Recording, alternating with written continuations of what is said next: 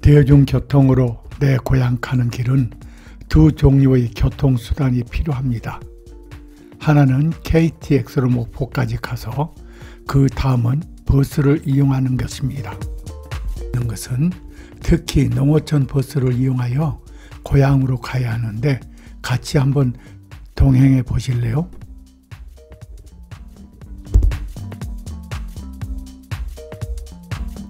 목포시의 터미널에서 해남읍까지 가는 버스를 이용하기도 하는데요. 한번 가보시겠습니다.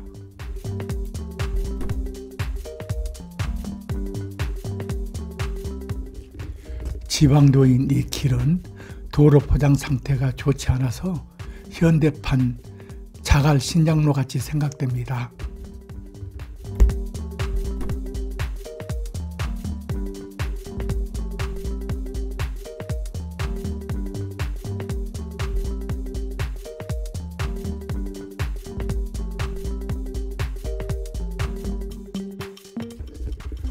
목포에서 우수영 가는 길은 마치 삼각형과 같이 세 변이로 돼 있어 긴 변으로 가는 길, 짧은 꼭지점으로 가는 길로 나뉘는데요.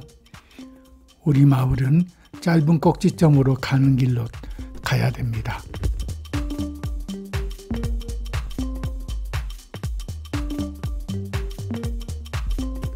여기까지가 영산강 하원도의 끝자락입니다.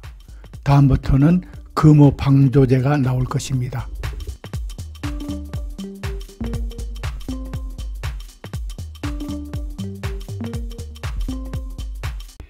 해남 군에 접어드는데 지금부터는 금호 방조제를 지나겠습니다.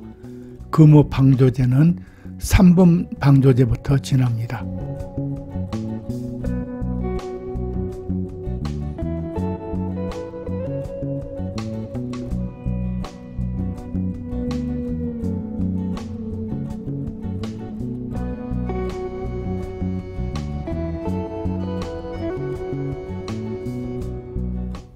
금호 이 방조제부터는 하면에 속합니다. 금호 방조제라는 것은 금호도를 연결해서 바다를 막았기 때문에 그 이름을 딴 것이 아닌가 생각합니다.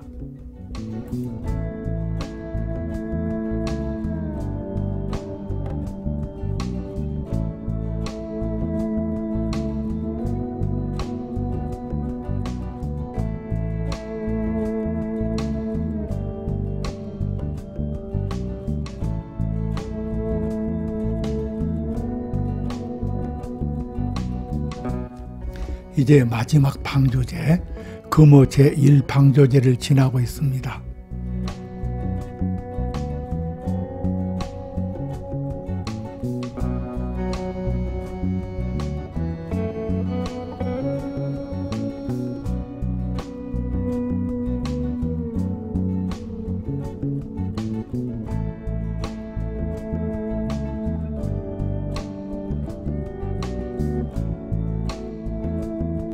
드디어 옛날 육지에 도착했습니다.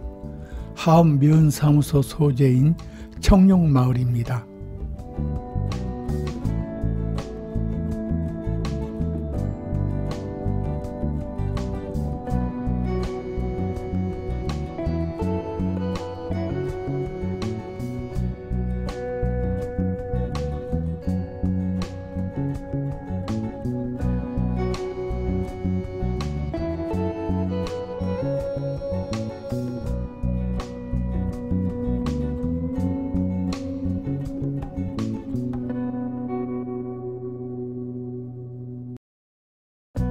여기서부터 삼각형의 한 편이 시작됩니다.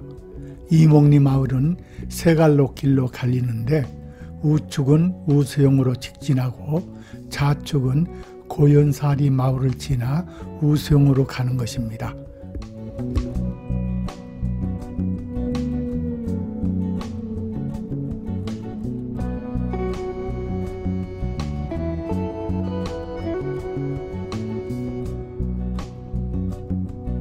오른쪽으로 보이는 호수는 개초지라는 저수지인데 그 둘레 길이가 4km를 넘는 상당히 큰 저수지입니다.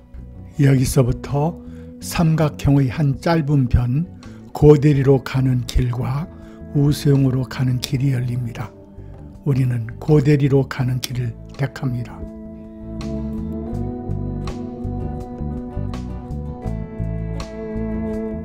마을과 마을을 이어주는 군도 도로 포장 상태가 좋지 않군요.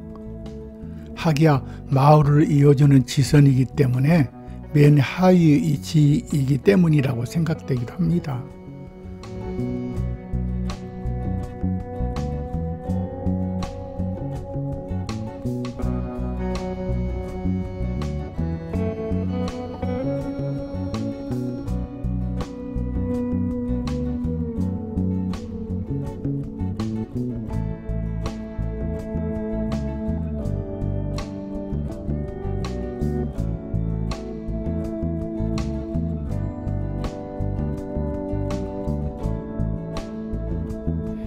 이 길은 고단길 지방도로입니다.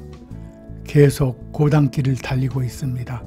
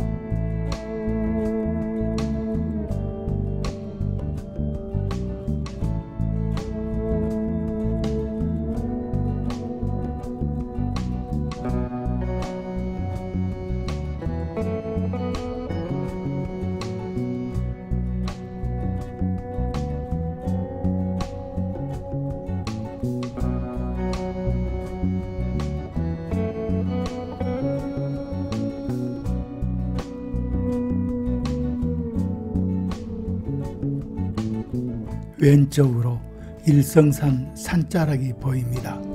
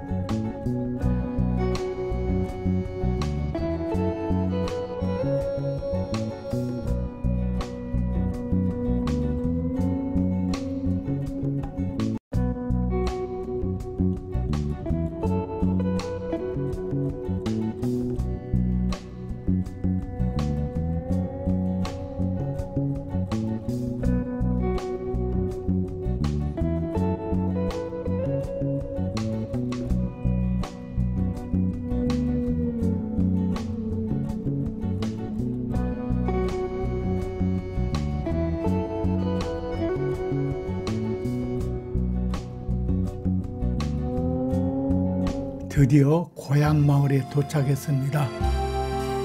고당, 고대리, 고평리, 가로리 등을 합해서 고연사리라고 합니다.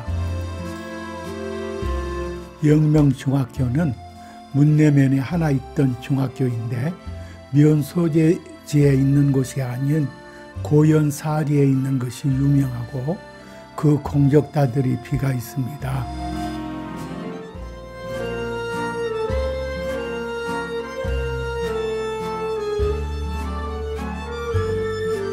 들리는 말에 의하면 고연사리 출신의 문내위원장은 해남 군수를 찾아가서 고연사리에다가 중학교를 세워줄 것을 강력히 요청하여 면소재지가 아닌 고연사리에 중학교가 세워졌다고 합니다.